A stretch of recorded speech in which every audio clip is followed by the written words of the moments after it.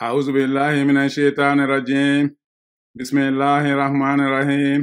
والحمد لله والصلاة والسلام على من لا نبي بعده سيدنا ونبينا وحبيبنا ومولانا محمد صلى الله تعالى عليه وسلم وعلى آله وأصحابه ومن اهتدى بهداه إلى يوم الدين.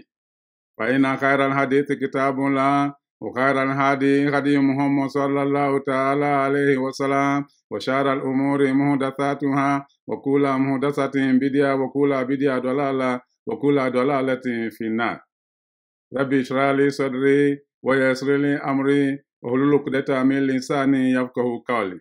ربي لا تؤاخذني مما يقولون واغفر لي ما لا يعلمون واجعلني خيرا مما يظنون. أما بعد My dear brothers and sisters in Islam, Assalamu alaikum wa rahmatullahi ta'ala wa barakatuh. Welcome to the House of Dua and welcome to our continuing conversation on parables from the Quran. My dear brothers and sisters in Islam, today we are bringing you a very beautiful parable.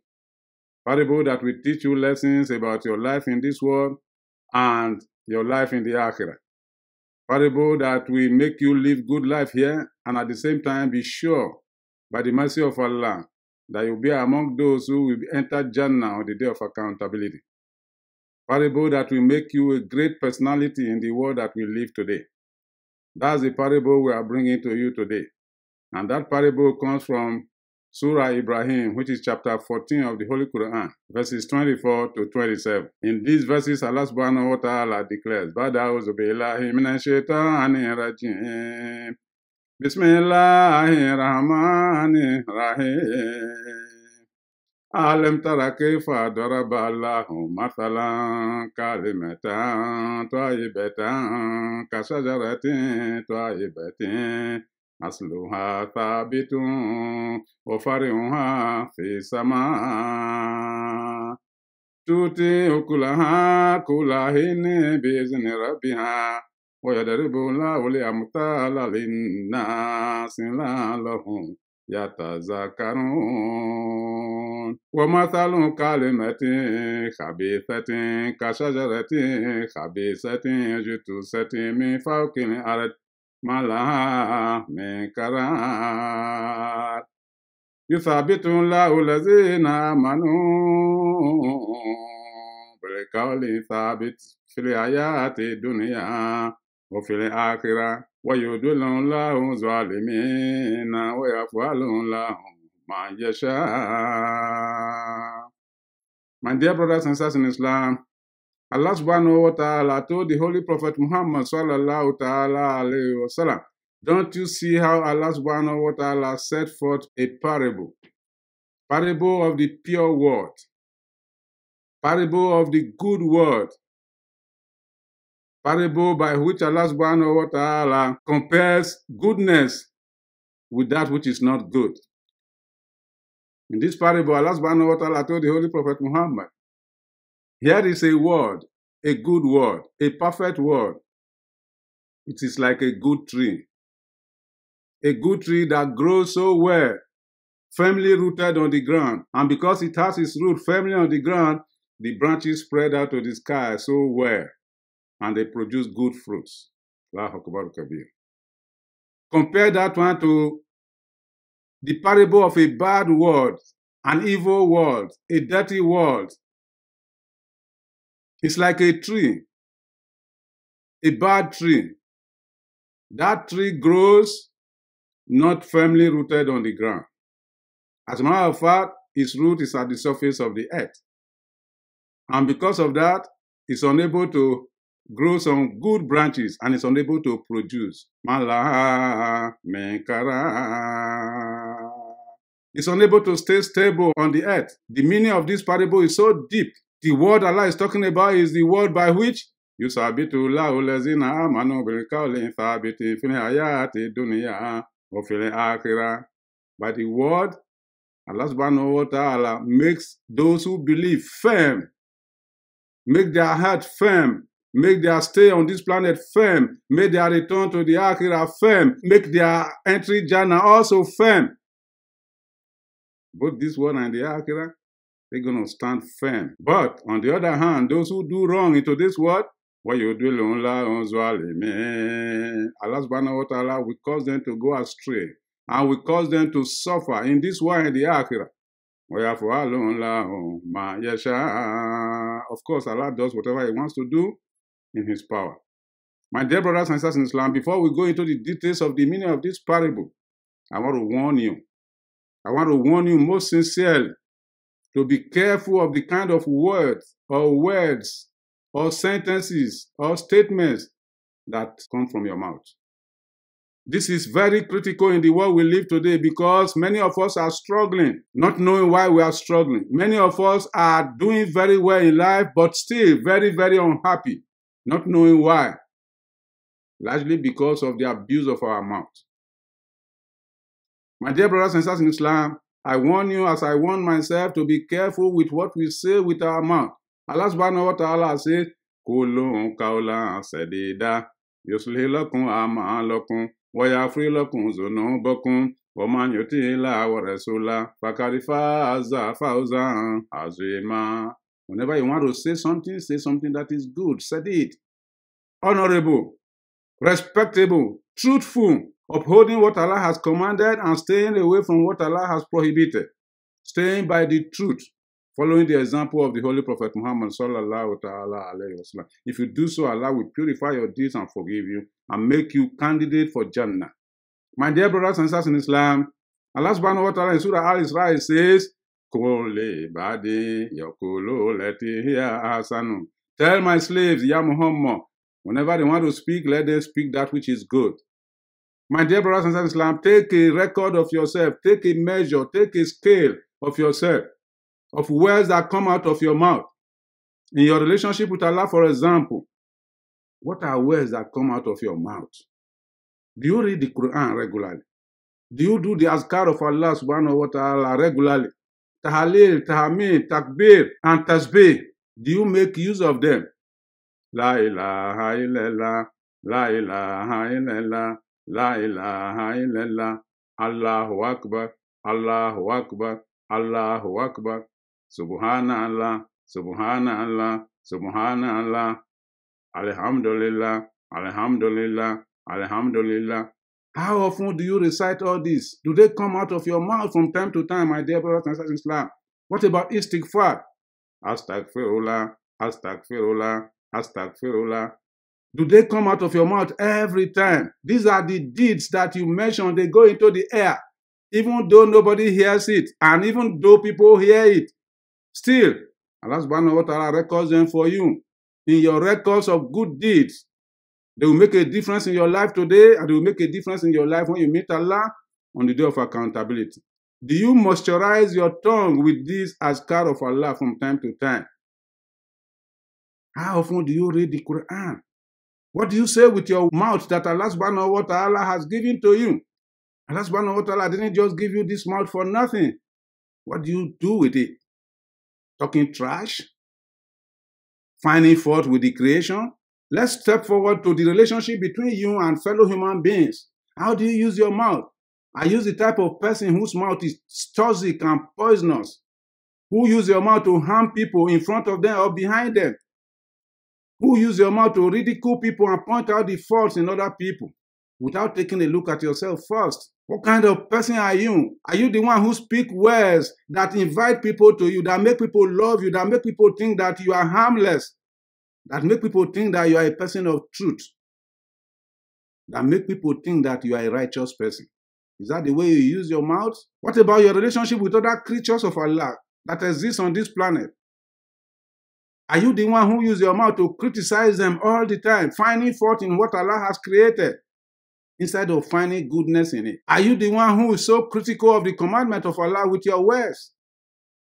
Not wanting to follow the truth. How do you rate yourself in terms of the words that come out of your mouth? You know what? Words have led nations into war. Bad words have led marriages into total collapse.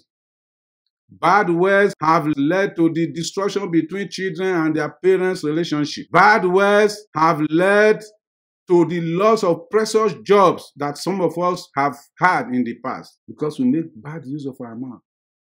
You will be judged by the statement that you issue from your mouth in this world and in the akhirah. This is the truth about it.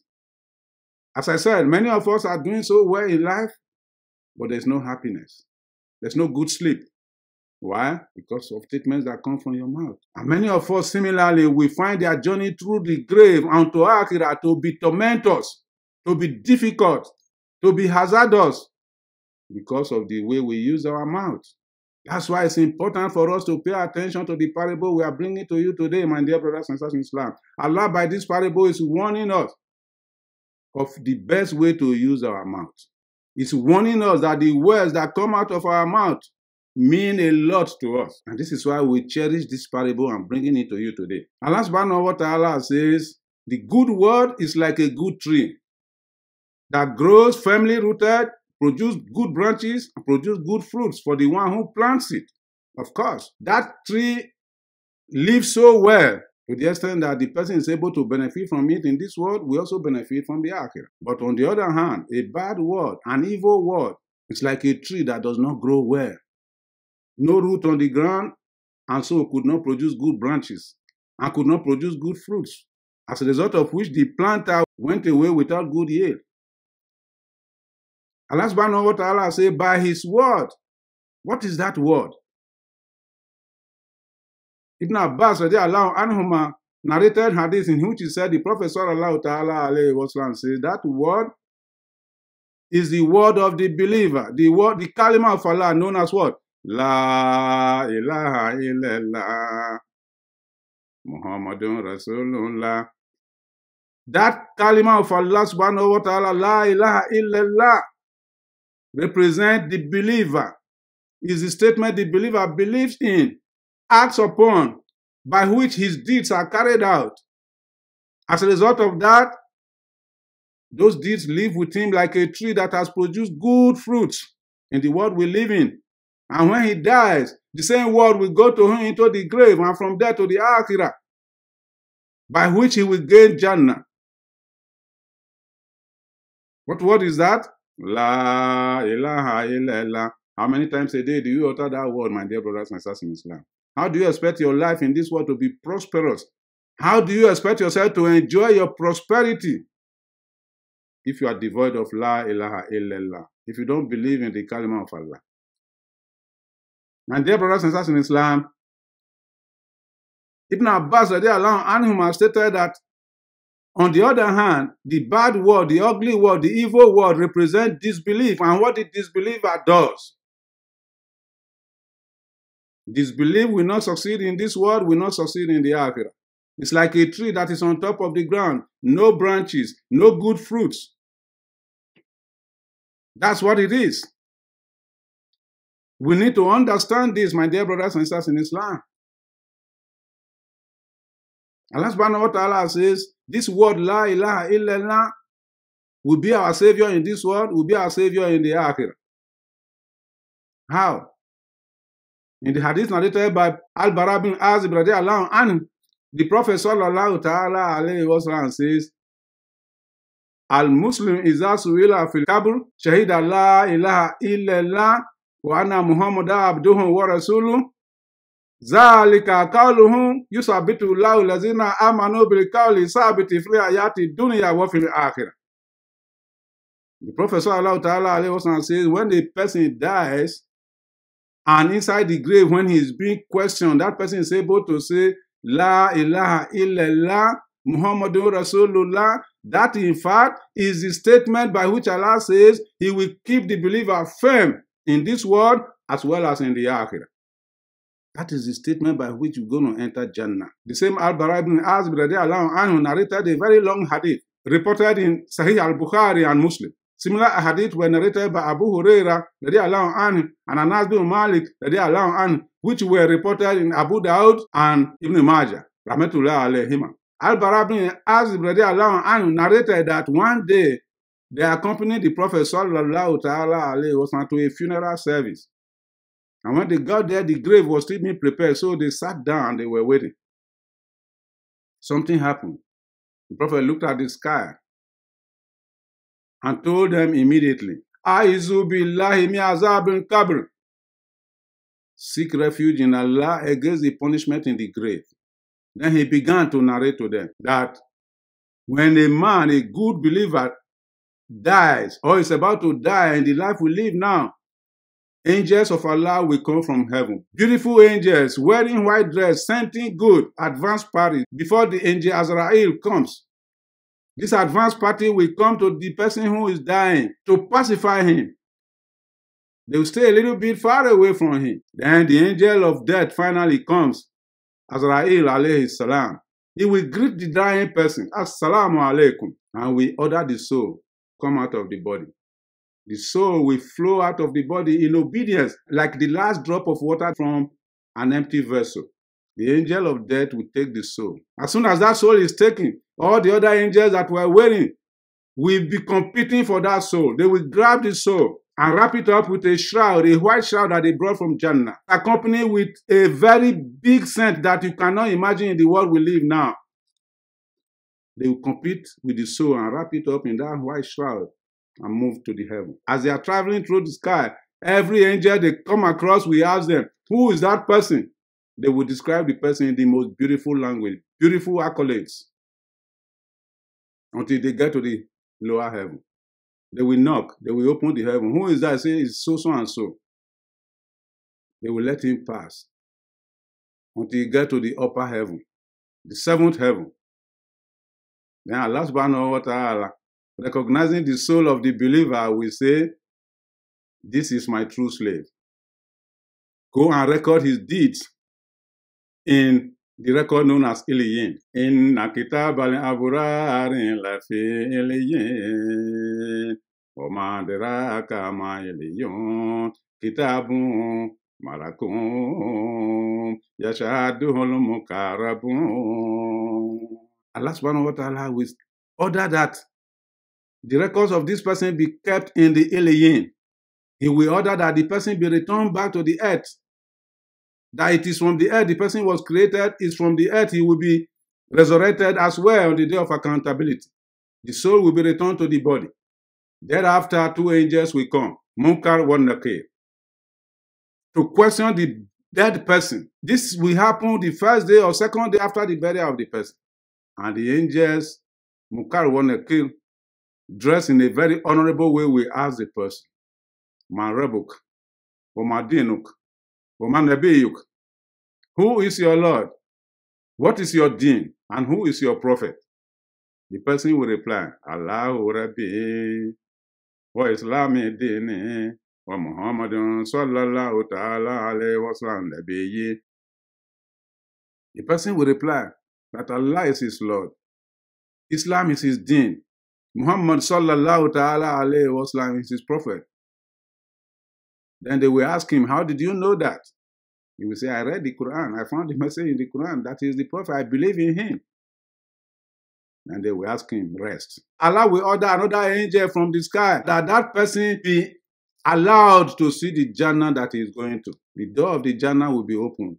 Clothes from the Jannah will be brought to that person. And the scent of Jannah will be reaching that person another honorable angel that looks like a human being will appear. He will look so handsome. The dead person will recognize and say, You look so handsome.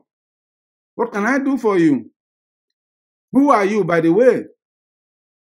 Then he will introduce himself to the dead person as what? I am your deeds that you used to do in life. I am your words that you used to utter in life. I am your kalima. La ilaha illallah that person will, will give this good news that on the day of accountability, you are going to Jannah. Then the dead person will say, I need it now. I need it now. I need it now. And he will be told, relax. You will not be there until the day of accountability. My dear brothers and sisters in Islam, this is the narration by Al-Bara bin Azib radiallahu anh from the Prophet sallallahu ta'ala alayhi wa On the other hand, when an evil person, a person who disbelieved, who did not know Kalima, dies, similarly, Advanced angels will come from the sky. Ferocious beings. They will come along with a thick cloth that looks like a thick blanket to the dead person. They will surround him until Azrael alayhi salam will come. As soon as uh, the angel of death, Azrael alayhi salam, comes, he will order the soul, come out of the body.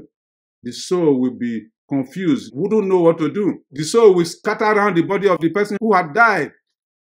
Then Azrael alayhi salam will use force to pull the soul away from the body of the person, just as you use a hook to tear the mouth of a fish. And then those angels will be competing for the soul. They will grab it, wrap it in that thick blanket, and a very terrible odor will be oozing from it, and then they will ascend heaven. As they are traveling, every angel that they pass will ask, Who is this? They will describe the person in the worst language. They say that is that person who did not follow the way of Allah. As soon as they get to the lower heaven, guess what? They will ask for permission to be opened. They will be told, No, he will not ascend heaven. Take him back to the earth. He will not ascend heaven. Why? Because Allah subhanahu wa ta'ala has stated in the Quran in Surah Al-Araf, La tufatahu lahum abwabu sama wala yadkhuluna al-janna hatta yalija al-jamalu fi samil khiyat. They will not enter Jannah. Those people who do not believe in Allah subhanahu wa ta'ala, the gate of heaven will not be open for them and they will not enter Jannah until the camel passes through the eye of a needle. And you know how difficult it is for a camel to pass through the eye of a needle. And immediately the soul will be released to crash back to the earth, where it will scatter around and be reunited with the body. Just as Allah subhanahu wa ta'ala said in Surah Al-Hajj, وَمَنْ يُشْرِكِ بِاللَّهِ faka namaka ramina sama fata ata fún terun àtàwé bere omi makani seko. Allah subhanahu wa ta'ala says, whoever associates partnership with Allah and dies without disbelief, that person is like somebody who has fallen from high up there in the sky and landed on the ground with the body scattered around while birds of the air are feeding on it or the wind carrying it from one area to another. Allah subhanahu wa ta'ala says, That's how we reward those who are sinners. My dear brothers and sisters in Islam, again, Allah subhanahu wa ta'ala will order that the soul be returned back to the grave to join the body, and the soul will come down. And then the angels of questioning will come, Munkar wa Nakir, this time in a very ferocious manner. Not ready to tolerate nonsense. They will ask him, Ma Rabuka or Ma Dinuka or Ma Nabiyuka. Guess what? When they ask him, Who is your Lord? What is your deen? And who is your prophet? He will reply, I don't know. I don't know. They will ask him, What do you know about Muhammad? Sallallahu ta'ala alayhi wasallam. He will claim not to know. He will explain, I only used to follow people in what they do and say what they say. I don't know much about Muhammad sallallahu ta'ala alayhi wa sallam. Astaghfirullah. May Allah not allow us find ourselves in that situation. Then when that happens, my dear brothers and sisters in Islam, we will be asked to remain there in suffering. The grave will begin to tighten up on it. Then comes a very ugly person who will meet him in that grave.